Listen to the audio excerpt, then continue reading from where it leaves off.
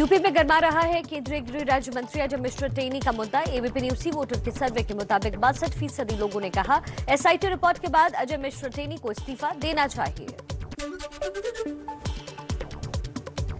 ABP news सी voter के सर्वे में अखिलेश यादव की यात्रा में उमड़े जन सैलाब को लेकर पूछा गया सवाल।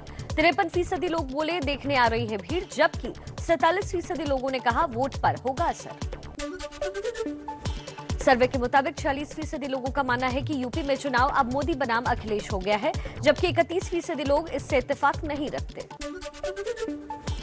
एबीपी न्यूज़ का शिवपाल यादव का बड़ा एबीपी न्यूज़ पर शिवपाल यादव का बड़ा बयान। बोले, मैंने अखिलेश को मुख्यमंत्री मान लिया है। यूपी चुनाव अखिलेश के नेतृत्व में ही लड़ा जाएगा। सीटों को लेकर कोई झगड़ा नहीं। निषाद आरक्षण के मुद्दे पर ओम प्रकाश राजभर का, बीजेपी पर निशाना, कहा, बीजेपी आरक्षण पर नाटक कर रही है। भारतीय जनता पार्टी आरक्षण के नाम पर गुमराह करके सिर्फ़ वोट लेने की कवायद कर रही है।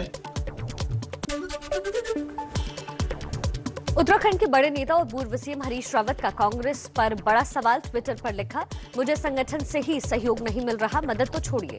संगठन तो नकारात्मक भूमिका निभा रही है। गोवा में दिल्ली के मुख्यमंत्री अरविंद केजरीवाल का बड़ा वादा, बोले सरकार बनी तो फ़ोन कॉल पर मिलेगा राशन, दिल्ली जैसी ईमानदार सरकार देगी। अभी तक जितनी पार्टियाँ थी सबने गोवा को लूटने में कोई कसर नहीं छोड़ी। पहली ईमानदार सरकार हम देंगे। अजय मिश्र टेनी को लेकर विपक्ष का केंद्र सरकार पर हमला।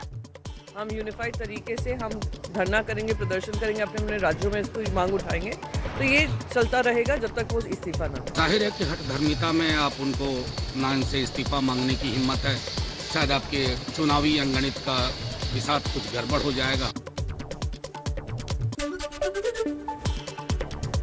प्रियंका गांधी के आरोप का केंद्र सरकार ने लिया संज्ञान, सूचना प्रौद्योगिकी मंत्रालय दे सकता है जाँच के आदेश। प्रियंका ने कहा था, बच्चों का इंस्टाग्राम अकाउंट हैक हो रहा है।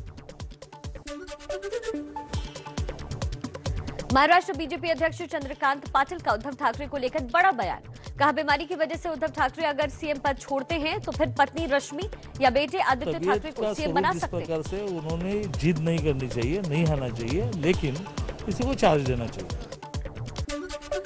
उद्धव ठाकरे की जगह रश्मि ठाकरे या आदित्य ठाकरे को सीएम बनाने के चंद्रकांत पाटिल के बयान पर एनसीपी सांसद फौजिया खान का निशाना कहा अपनी हद में रहे चंद्रकांत पाटिल। महाविकास आघाड़ी क्या करेगी?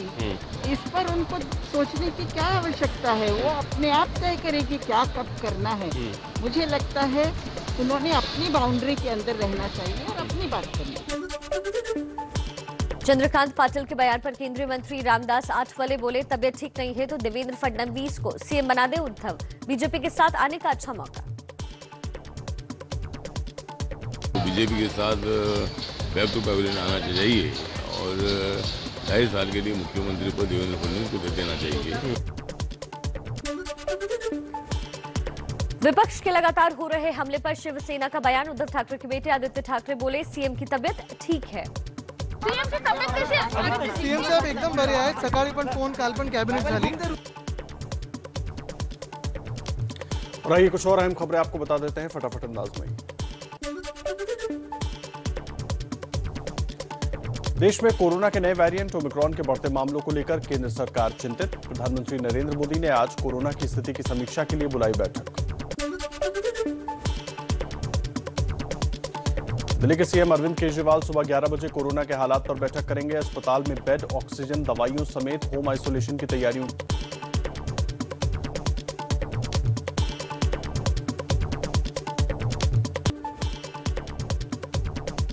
यूपी में अलीगढ़ के इगलास में चौधरी चरण सिंह की जयंती पर आज समाजवादी पार्टी और आरएलडी की साझा रैली। अखिलेश और जयंत होंगे शामिल। पीएम के रेल अलर्ट के जवाब में लाल और हरी टोपी पहनकर पहुँचेंगे दोनों पार्टियों के कार्यकर्ता। केंद्रीय सड़क परिवहन मंत्री नितिन गडकरी आज पश्चिमी यूपी में कई हाईवे प्रोजेक्ट का शिलान्यास करेंगे। मेरठ दिल्ली एक्सप्रेसवे का लोकार्पण भी करेंगे। लखनऊ में बीएसपी अध्यक्ष मायावती आज सुबह साढ़े ग्यारह बजे प्रेस कॉन्फ्रेंस करेंगी। पार्टी पदाधिकारियों के साथ बैठक भी करेंगी।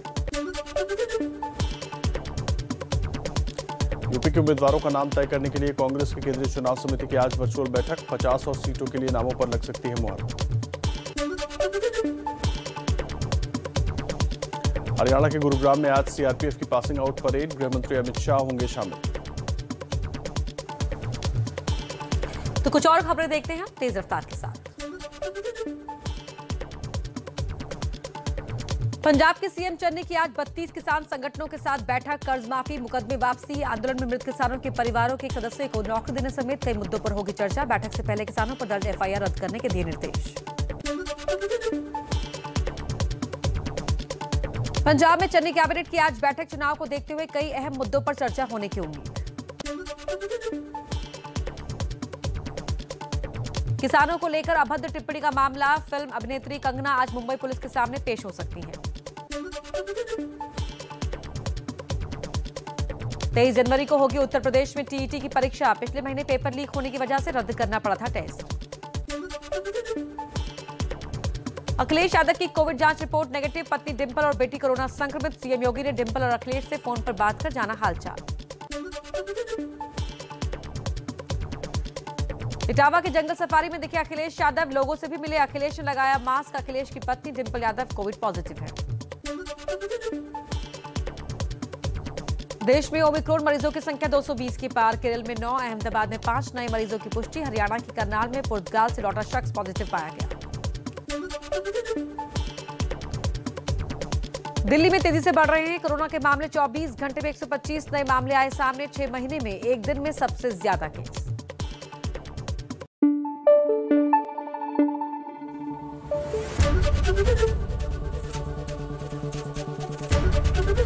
ABP news. आपको रखे आगे।